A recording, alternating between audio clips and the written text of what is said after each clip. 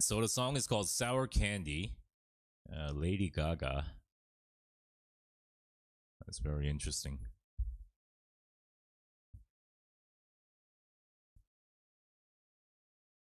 Jino, do your laundry. Yeah, I've been wearing this shirt for a while now. Um, I'm very good. Um, you know, everyone says they don't smell, but I really don't smell. I'm Korean. I really don't smell. You know what's funny? When you're drunk, you'll say I'm not drunk. When you smell, you'll say I don't smell. Um, things that we think about ourselves, but others know better. All right. Sour candy.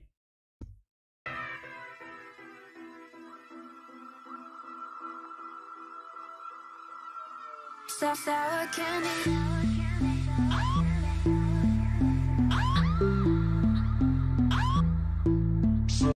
It's a very old uh, classic club sound.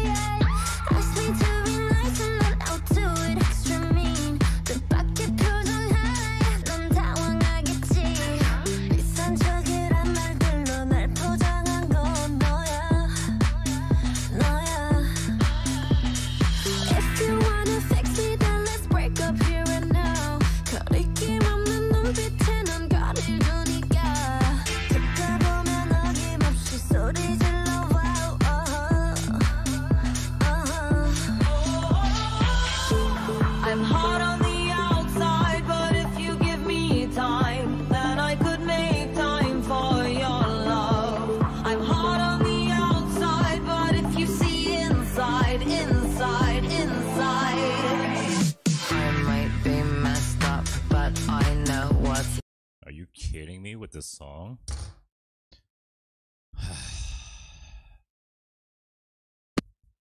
You want a real taste? At least I'm not a fake.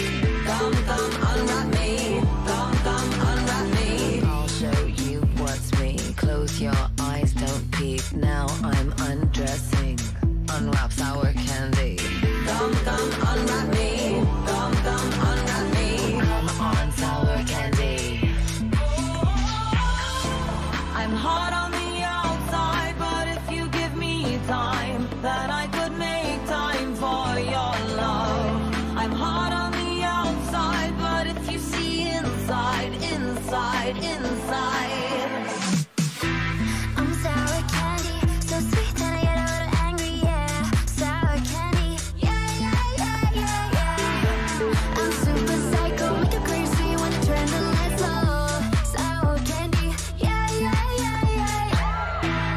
a bite.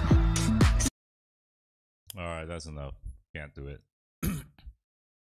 oh my god, are you serious? You've been gone for over a year and this is what you come back with? Jeez. That was terrible uh in every uh, aspect. This is uh This is Lady Gaga when she first came out when she was really big. Uh she's she's still there. Uh, I imagine this is not part of uh, Blackpink's release. This is probably um, Lady Gaga. Is it a Lady Gaga song? Um, but I have no idea what they were trying to go for there. The song is just so disjointed in in in it's not even connecting. Um, there's no actual flow. Uh, the vocals of Blackpink uh, in this song are terrible as well. They they don't bring any uh, emotion or feeling. They, they're just singing, um, and they're not emoting any uh, real uh, emotions to the listener. Uh, Lady Gaga has a certain feel, um, but uh, the melodies of Lady Gaga's parts are terrible as well. Um, that bass line in the background that song "You Got to Show Me Love," which is like